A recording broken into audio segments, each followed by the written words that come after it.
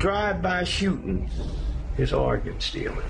I'm worth $50 million and I need a kidney. And you know, kidneys are pretty sensitive. You got to find somebody who really got the kidney that matches yours. You think I'm going to wait till somebody die for me to get one? If I don't get one soon, I'm going to die. So guess what I'm going to do? I'm going to pay somebody to go research people.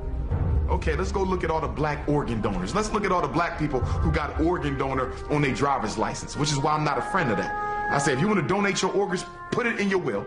Say that if I die, this could go to my family, my relatives, my friends, or whomever.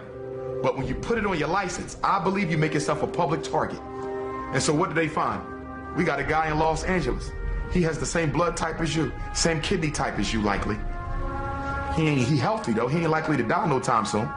He don't know you, so he ain't gonna give you no organ for free. So guess what we're gonna do? We're gonna arrange a murder that makes it look like he was in a car accident. We're gonna arrange a murder that make it look like he committed suicide. So the next thing you know, you coming out the gas station